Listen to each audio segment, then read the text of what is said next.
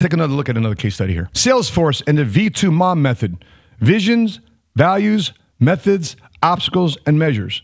This framework aligns every employee's efforts with company's vision, making sure everyone's incentives are pulling in the same direction. It's how you turn a good team into a great one. Now, what both of these examples will share with you is that when you get your incentive structure right, the results are off the charts. And results are off the charts, it takes on a life of its own. You create leadership within inside the ranks.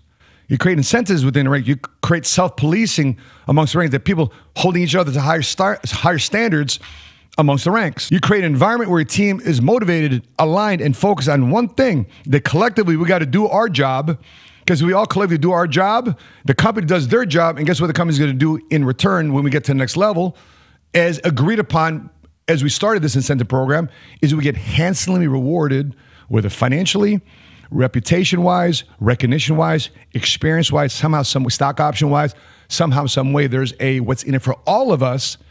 If all of us individually, every department, every person that hold each other accountable gets incentivized, boom, here it is. I like it when the sales force gets along with the cor- corporate home office executive team. They're all on the same page. And that has to do with incentive program. That's what we did here at PHP Agency.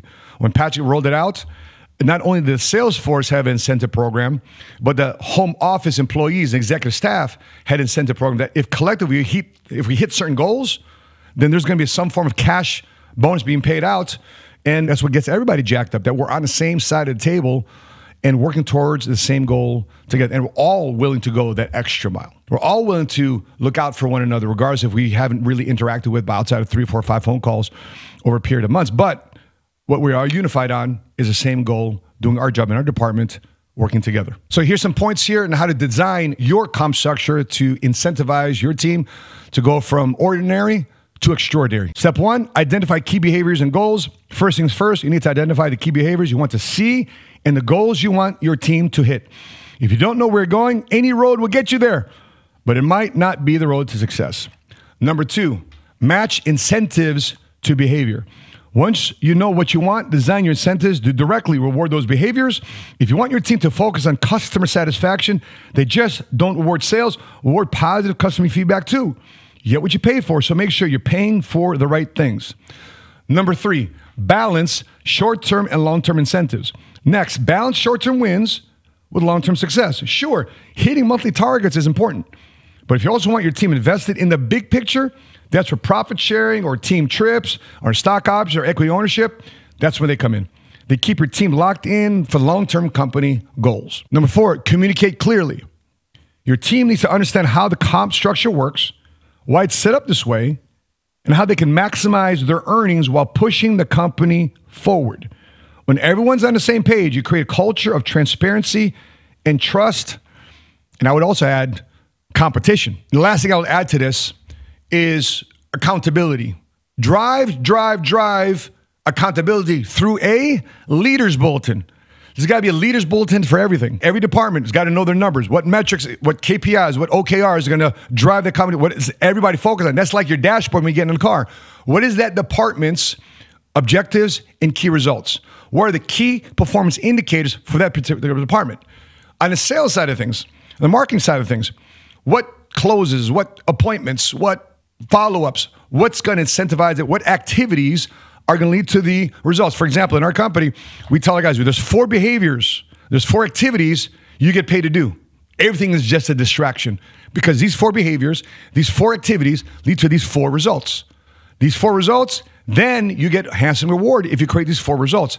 But these four results don't happen unless these four activities and behaviors actually get incorporated throughout the week. Monday, Tuesday, Wednesday, however you want to work your week. Remember, autonomy, however you incorporate these behaviors and activities gets these four results. And that's driven all the time, not necessarily by you texting everybody or you calling everybody, but there's got to be a unifying leaders bulletin that everybody sees because what holds people accountable is where their name is on that list. And guess what? Back to recognition. A lot of people want to see their name on the list at the bottom or in the middle or in second place.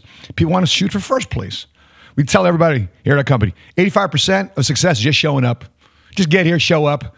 Because sadly, a lot of people won't. And by the way, our sales force, there's part timers and full timers. A lot of people just don't show up. Sad. But that's autonomy. That's capitalism. That's free enterprise. The thing about capitalism, if you don't improve, you don't get paid. If you don't improve, you don't get the job. So everybody here has to improve. And what's going to re- reveal that and show that? Leaders Bulletin. And so 85% is just showing up. 50%, the other 50% is just hard work. Well, guess what? The last 5%, that's a dogfight. That brings out the best of the best of the best. I'm just jacked up talking about it because I'm ex- excited for my opportunity to change my life.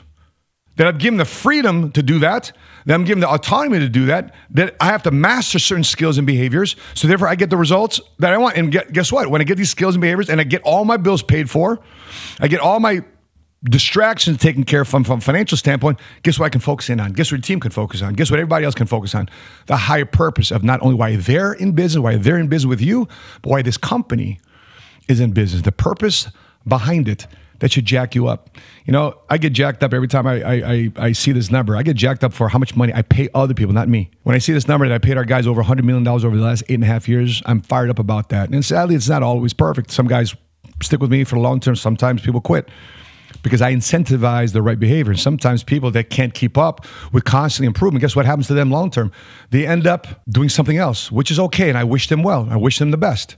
But if you want to constantly be in a position where you're competing and improving and evolving and growing, then our firm, our agency, our company, our culture, our championship system is going to get people to experience going from ordinary income family to extraordinary life experiences because they're willing to discover the next best version of themselves. And in the process, your company also discovers the next best version of itself too as well.